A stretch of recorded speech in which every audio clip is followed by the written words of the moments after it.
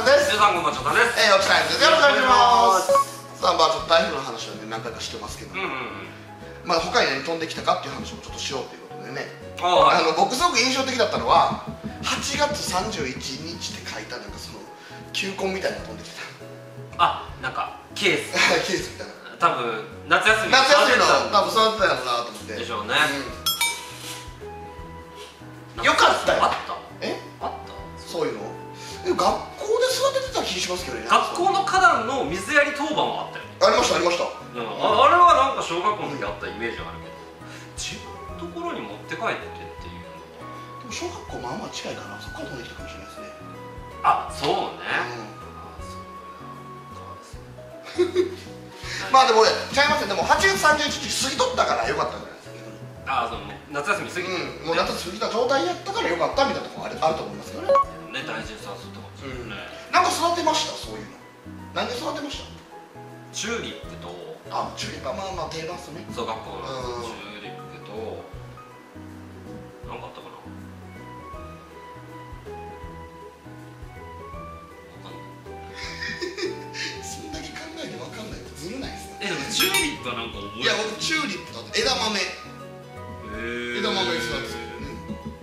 トマトも育った気がするなあとはあの朝があ朝顔ね。あ朝顔。は確かに。クラスであったかも。うん。あのなんかねツタなんかシチューシチューシチューがあって。でこうくるくるくるってこう巻きついてあああったかも。だから僕朝顔の種めっちゃ持ってましたもん小学校の時。そうあったな。うんなんかそういうで植物育てたりとかねありましたよね。う最近はもう植物なんか育てへんけど。んまあね。なんかでも部屋にこうおしゃれ植物みたいな置いてる人がいるじゃないあ観葉植物とかね。のねおしゃれな感じのと大きめのやつにこうわさってしてでこうソファー置いてみたいなちょっと憧れはありますよねそういう家、あそう。はい、かっこいいじゃないですかテレビ出てくるみたいなサボテンおばさんみたいやサボテンもさおかしいでしょ。なんでそのサボテンでかいやつ置いてるんですか？砂漠っすか？ないや。え？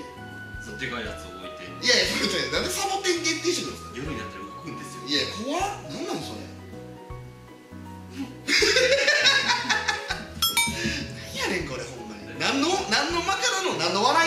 2人でなんか。言って言って自分たちは面白くなくて。そうね、うん、多いあんまよくない。そう、う、そうそう。こういうの絶対最近言われる。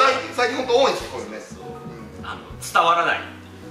この空間。空間というかこの空気感がちょっとそのそう、う、やってしまうっていうのがありますよね。ぜひ気になる方皆さん。こっちどうぞ。こっちにどうぞって何？いやいややっぱりこっちにどうぞってそんな言い方ある？僕らが行くっていうこっちにどうぞ。ってそんななかなかそんなでもオフ会とかねしてすごい方もいらっしゃいますからね。ああね。で有名な、ねね、YouTuber の方とかねオフ会とかされたりイベントとかされてますね。ねすごいですよね。どうなんだろう。どういう見え方してんのかなってやっぱ思いますよね。その僕らとしてはなんだろう。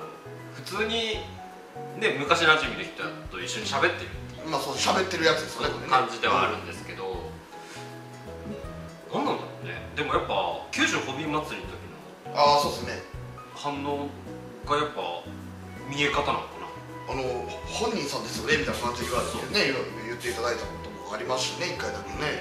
だから逆にそのまあ例えばですよこのチャンネルの登録者数が10万人とかはい。100万人とかあればまあそういうのも来るだろうって想定はするじゃないですか。なんかテレビの人みたいな。うん。だってね、そのヒカキンさんなんてまあそのまあそうね。めっちゃもっと100万人とかレベルじゃないですけど、まあ、歩いてはったらもう表示されてなりますしだからその100万人とか言ってれば確かに分かるんですよ。10万人ね。せめて10万人とか。ただ僕ら全然その登録者いない。でも100人ってすごくない？そうなんですよ。でもね確かに。あのだってそんな友達いないよ。たまあ確かに確かに。100人も友友達達100人できるかなって言うけどさ。はい。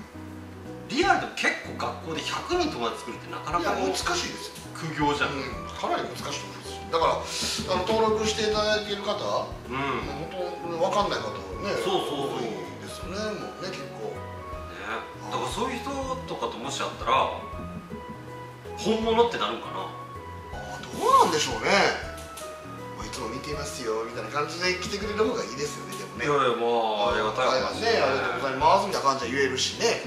それぐらいの感じがいいよなとは思いますけどね。うんうんうんうん。ね確かにそういうのもありますよね、うん空気感ね。空気がちゃんと伝わるようにしますよもうね僕らでちょっと面白いっていうのもねやっぱありますからね。なんか2人のツボがあるんだよね。そうなんですよ。これがねまた難しくて。まああの会社ねあの前から言ってますけど席隣になんですよね。独特のなんかその空気で終わってしまう時ありますもんね、うん席順もこのこのはい。このままこう座ってこうやってるんでね。やったらもう会社ですか？らはい。で考えたらまあちょっとね独特のやつ結構あるなと思って2人でなんか笑ってしまう時ありますよね。そういやてかその長さん結構僕にいたずらとか仕掛けてきますやん。それもありますやん。いやいやいやいいや。なんか今日ねなんかさっき気づいたら変なぬいぐるみ置いてあったんですよいやいやいやと思って。何やこれと思って。やいやまあね。そういうのとか待ち受けがね変わってたりとか。それパソコンの待ち受け勝手に変えたんですよ。小学生かみたいなね。何これってなってね。で気づくまでまた間があるんですよね。あのデスクトップその待ち受け見るそんななかなか見ないじゃないまあ作業してるとね。はい、作業しながらこうねこういろいろ見てとかしてこうやってて。でちょっと太い一息ついて、まあ、ファイルちょっとねあのしてパッと見た時に。やりますもんね。その瞬間の？あのでなんかね笑ったら負けやなみたいなのがあるじゃないですか。なんか我慢しちゃう。我慢しちゃうんですよね。なんかそのまあ一応会社ですし、うん、勝手にやってるだけなんでね。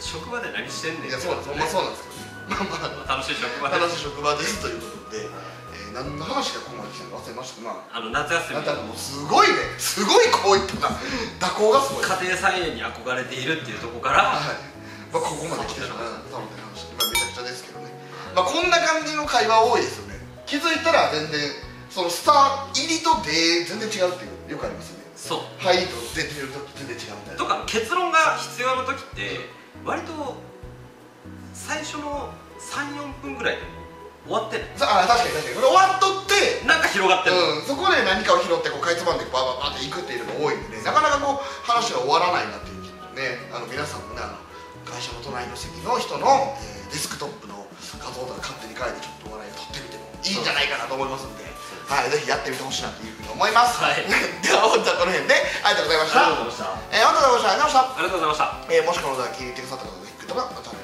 録お願いします。よろしくお願いします、えーこのチャンネルは Twitter も配信しております。皆さんぜひお気軽にフォローしてみてください。よろしくお願いします